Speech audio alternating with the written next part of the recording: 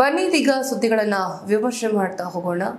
ಮೊದಲನೇದಾಗಿ, ಸಿಪಿಐ ಸಂಜೀವ್ ಕುಮಾರ್ ಅವರು ನೀಡಿದಂತ ಹೇಳಿಕೆ, ಅಥವಾ ಅವರು ನಡೆದುಕೊಂಡಂತಹ ರೀತಿ ಏನಿದೆ ಅಲ್ಲ, ಇದಕ್ಕೆ ಇಡೀ ರಾಜ್ಯಾದ್ಯಂತ ಆಕ್ರೋಶಗಳು ಮತ್ತು ವಿರೋಧಗಳು ವ್ಯಕ್ತವಾಗ್ತಾ ಇದೆ.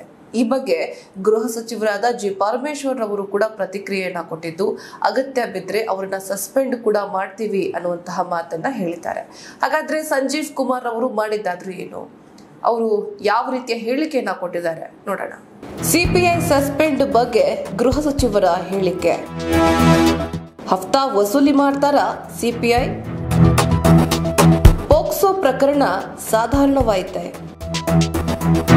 ಇಂಥದೊಂದು ಪ್ರಶ್ನೆ ಇದೀಗ ಎಲ್ಲರ ಮನಸ್ಸಲ್ಲೂ ಮೂಡ್ತಾ ಇದೆ. ಇದಕ್ಕೆ ಕಾರಣ ಸಿಪಿಐ ರವರ ನಡವಳಿಕೆ ಮತ್ತು ಅವರ ಹೇಳಿಕೆ. ಅಗತ್ಯ ಬಿದ್ದರೆ ಗುರುಕುಲ್ ಮಠ್ ಸಿಪಿಐ ನನ್ನ ಸಸ್ಪೆಂಡ್ ಕೂಡ ಮಾಡ್ತೀವಿ, ಕೆಲಸದಿಂದ ಕಿತ್ ಹಾಕ್ತೀವಿ ಅನ್ನುವಂಥ ಮಾತನ್ನ ಜಿ ಪರಮೇಶ್ವರ್ ಅವರು ಹೇಳಿದ್ದಾರೆ. ವಿದ್ಯಾರ್ಥಿನಿಯರ ಮೇಲೆ ಶಿಕ್ಷಕನೊಬ್ಬ ನಡೆಸಿರುವ ಪೋಕ್ಸೋ ಅಡಿಯ ಪ್ರಕರಣವನ್ನ ಬಹಳ ಹಗುರವಾಗಿ ಪರಿಗಣಿಸಿರುವ ಸಿಪಿಐ ಸಂಜೀವ್ ಕುಮಾರ್ ಗುರುಕುಲ್ ಮಠ್ನನ್ನ ಸಸ್ಪೆಂಡ್ ಮಾಡುವುದಾಗಿ ಗೃಹ ಸಚಿವರು ಹೇಳಿಕೆಯನ್ನು ಕೊಟ್ಟಿದ್ದಾರೆ. ಸುಮಾರು ತೊಂಬತ್ತಕ್ಕೂ ಹೆಚ್ಚು ಟ್ರ್ಯಾಕ್ಟರ್ಗಳ ಮಾಲೀಕರಿಂದ ಪ್ರತಿ ತಿಂಗಳು ತಲಾ ಹದಿನೈದು ಸಾವಿರ ರೂಪಾಯಿಯಂತೆ ವಸೂಲಿಯನ್ನ ಮಾಡ್ತಾ ಇದ್ರಂತೆ. ಇನ್ನು, ಈ ಬಗ್ಗೆ ಆ ಮನುಷ್ಯನನ್ನ ಅಥವಾ ಆ ಸಿ ಪಿ ಐನನ್ನು ಪ್ರಶ್ನೆ ಮಾಡಿದ್ರೆ ತುಂಬಾ ಉಡಾಫೆ ಉತ್ತರವನ್ನ ಕೊಟ್ಟಿದ್ದಾರೆ. ತುಂಬಾ ದುರ್ವ್ಯವಹಾರ ನಡೀತಾ ಇದೆ ಅಂತ ಕೇಳಿದ್ರೆ ಅದಕ್ಕೆ ಅವರು ಕೊಟ್ಟಂತಹ ಉತ್ತರವೇನು ಗೊತ್ತಾ? ಹೇಳ್ತೀವಿ ನೋಡಿ. ಇದೇನು ನನ್ಗೊಬ್ಬನಿಗೆ ಸೇರುತ್ತಾ? ಯಾರ್ಯಾರ ಪಾಲಿರುತ್ತೆ ಅಂತ ಗೊತ್ತಿಲ್ವಾ? ಎಲ್ಲರೂ ಕೂಡ ಅವರವರ ಪಾಲನ್ನು ಪಡೆದುಕೊಳ್ತಾರೆ ಅಂತ ತುಂಬ ದಾಷ್ಟತೆಯನ್ನ ಪ್ರದರ್ಶನ ಮಾಡಿದ್ದಾರೆ.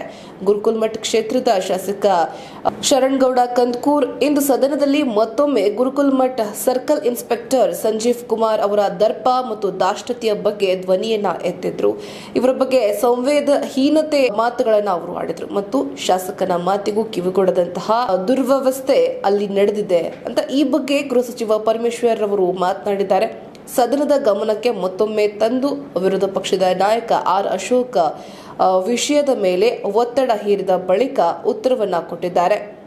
ಸಂಜೀವ್ ಕುಮಾರ್ನ ವರ್ತನೆಯಿಂದ ಬೇಸತ್ತು ಶಾಸಕ ಸ್ಥಾನಕ್ಕೆ ರಾಜೀನಾಮೆ ನೀಡ್ತೇನೆ ಅಂತ ಹೇಳಿದ ಕಂದ್ಕೂರ್ಗೆ ಯಕಶ್ಚಿತ್ ಒಬ್ಬ ಅಧಿಕಾರಿ ದುರ್ವರ್ತನೆಯಿಂದ ಅಥವಾ ಆತನ ದರ್ಪದಿಂದ ನೀವ್ಯಾಕೆ ರಾಜೀನಾಮೆ ಸಲ್ಲಿಸ್ತೀರಿ? ಇದರ ಅಗತ್ಯ ಇಲ್ಲ ಅಂತ ಹೇಳಿದ್ದಾರೆ. ಇನ್ನು ಮುಂದುವರೆದು ಮಾತನಾಡಿದಂತಹ ಅವರು ಸಂಜೀವ್ ಕುಮಾರ್ಗೆ ಶಿಸ್ತು ನಡಾವಳಿ ಅಡವಿ ಅಡಿಯಲ್ಲಿ ಈಗಾಗಲೇ ನೋಟಿಸ್ ಅನ್ನ ಜಾರಿ ಮಾಡಲಾಗಿದೆ. ಮತ್ತು ಇನ್ಸ್ಪೆಕ್ಟರ್ ಬಗ್ಗೆ ಸಂಬಂಧಪಟ್ಟ ಅಧಿಕಾರಿಗಳಿಂದ ವರದಿ ಸಹ ಕೇಳಿದ್ದೇನೆ. ನೋಟಿಸ್ಗೆ ಉತ್ತರ ಸಿಕ್ಕ ಬಳಿಕ ಕ್ರಮವನ್ನ ಜರುಗಿಸಲಾಗುವುದು ಅಂತ ಪರಮೇಶ್ವರ್ ಅವರು ಉತ್ತರವನ್ನ ಕೊಟ್ಟಿದ್ದಾರೆ. ಇನ್ನು ಈತನನ್ನ ಸಸ್ಪೆಂಡ್ ಮಾಡಿ ಎಂದು ಜೆಡಿಎಸ್ ಇತರೆ ಶಾಸಕರು ಕೂಡ ಹೇಳಿದಾಗ ವರದಿಯನ್ನು ನೋಡಿದ ಮೇಲೆ ಸಸ್ಪೆಂಡ್ ಮಾಡಬೇಕಾ ಇಲ್ವಾ ಅನ್ನೋದನ್ನ ಡಿಸೈಡ್ ಮಾಡ್ತೀವಿ.